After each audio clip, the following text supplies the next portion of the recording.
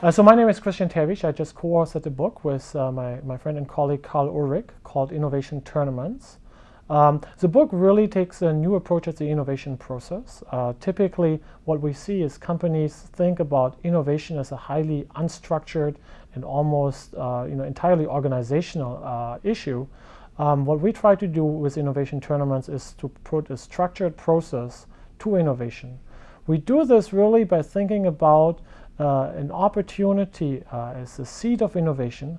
And what Innovation Tournaments does, is it runs a big uh, process that takes all of these opportunities in and through a set of intelligent filters, comparisons, selection criteria, then really makes sure that you identify the exceptional, the outstanding opportunities to move forward.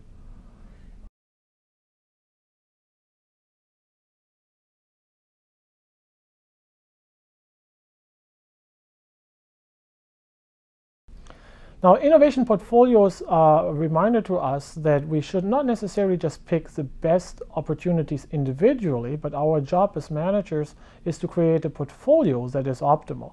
Now, innovation tournaments come into play with portfolios in a number of ways. Uh, first is they are really what is feeding the portfolio planning process. Uh, second, often what you have is that there's a feedback loop. When you do your portfolio planning, you identify, so tools such as scenario planning or the three horizons of growth, you identify white spots in your portfolio. And what you should use then is an innovation tournament that is basically creating new ideas that exactly address those needs.